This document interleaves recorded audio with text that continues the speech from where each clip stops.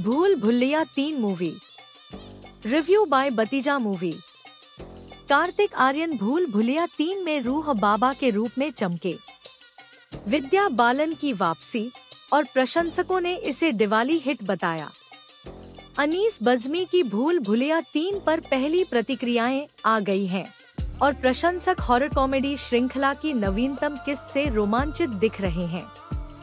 कार्तिक आर्यन, विद्या बालन माधुरी, दीक्षित और तृप्ति डिमरी की विशेषता वाली यह फ़िल्म हास्य के साथ डर के मिश्रण के लिए तालियाँ बटोर रही है। शुरुआती दर्शक रूह बाबा के रूप में कार्तिक के प्रदर्शन की प्रशंसा कर रहे हैं और उनके प्रतिष्ठित चरित्र के रूप में विद्या बालन की वापसी ने उत्साह बढ़ा दिया है। एक्स पर एक उपयोगकर्ता ने अपनी प्रतिक्रिया साझा करते हुए कहा, कार्तिक रूह बाबा के रूप में उत्कृष्ट है। विद्या बालन प्रभावशाली है। प्रशंसक इसे दिवाली के लिए अवश्य देखने योग्य बता रहे हैं। कई लोगों का कहना है कि कैसे फ़िल्म में हँसी और रोमांच का संतुलन इसे छुट्टियों की रिलीज़ के लिए एकदम सही बनाता है। फ़िल्म की अग्रिम टिकटों की बिक्री उच्च प्रत्याशा को दर्शाती है। 31 अक्टूबर को रात 10 बजे तक।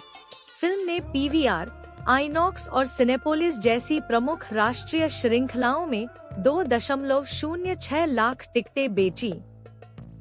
पीवीआर आईनॉक्स एक दशमलव छह शून्य लाख से अधिक टिकट बेचकर सबसे आगे रहा, जबकि सिनेपोलिस में छियालीस हज़ार प्रवेश दर्ज किए गए।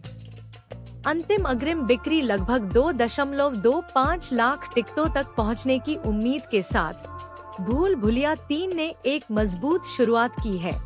जो गैर राष्ट्रीय श्रृंखलाओं में भी अच्छी पकड़ दिखा रही है।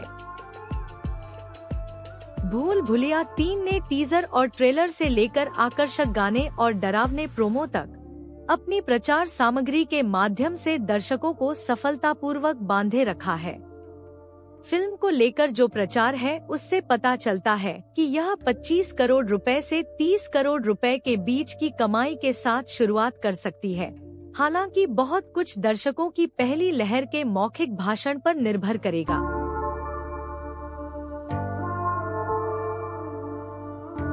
बॉलीवुड फ़िल्मों से संबंधित अधिक नवीनतम अपडेट के लिए बतीजा मूवी चैनल को सब्सक्राइब ज़रूर करें। Thank you.